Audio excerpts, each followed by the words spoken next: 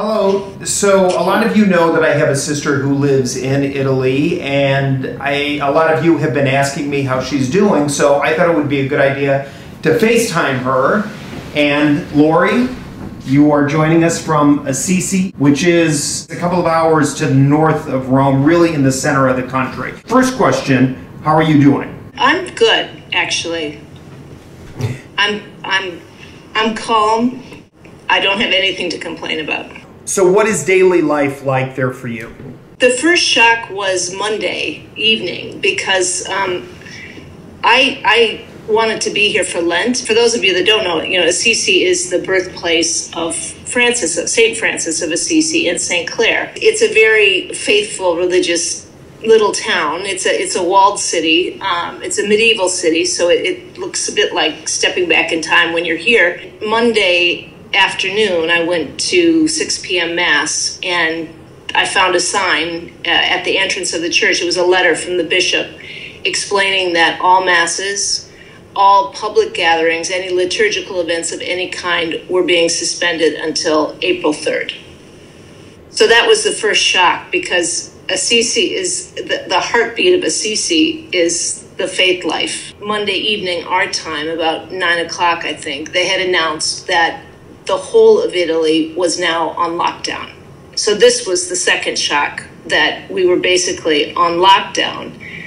Well, what does that mean? It means that we are asked, or we are we're actually mandated um, to be in our homes, uh, and the only time that we're able to leave our home is for basic necessities. So grocery stores are still open pharmacies are still open. Assisi's a small town, so no one really, if you do take a walk, there's plenty of space. There's no one on the streets at all, barely anyone.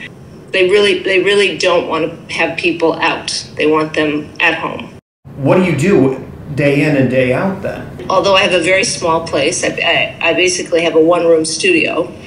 Um, but because I have this terrace, you know, the, the view um, is amazing. And so I'm able to be out on my terrace and get fresh air most of the day. So I, I, I consider myself really fortunate to have that. I'm used to being on my own. I, I wrote a, a, dissertation a few years back, and so this to me is reminiscent of that period. My son used to call me, my son, your, your nephew, used to call me the hermit because really when i was writing my dissertation other than walking a dog which i had at the time and going to mass and you know the grocery store occasionally that was the only time i left the house. So so i'm used to solitude and i'm used to long periods of time. I've actually took my dissertation out again and started reading it again after several years. It's very interesting because i wrote on the topic of hope uh, based on the um, pastoral sermons of St. Augustine of Hippo. It's fun to reread it, but it's also really appropriate right now to read about hope. I don't have loved ones in the hospital here that are dying. I mean, this is, you know, the, the I think it's 25% of the Italian population is elderly and the average age of people who have died from this are is 81 to 89 so i feel that pain. Um, and italians are very close to their families. And the mayor wrote a letter which was really beautiful about how you know we have to take care of the most vulnerable of our society and the elderly. And so we need to make this sacrifice um, that's going to be inconvenient but a small sacrifice to to help these people out so being here and just the way people you know here are behaving you know no one's stockpiling. Um, you know the stores are full. People are relatively tranquil. Um, they're very worried about what's going to happen but they're they're doing it with courage and they're doing it with a sense of humor. Maybe you've seen some of these flash mobs from balconies because people can't actually be together, but they can go out on their balconies and they can sing and so they're finding ways to cope. Times like this where I realize, you know, why what I love about Italy, and it's it's the heart of the Italian people, really, and their dedication to their families and um, and to their faith. Since Italy is now the epicenter for the coronavirus, are you personally concerned about your own health? no. So I am not. I'm really not at all concerned about my health.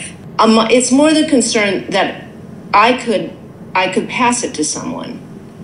You know, and I have friends in that, I have quite a few friends in that at risk category.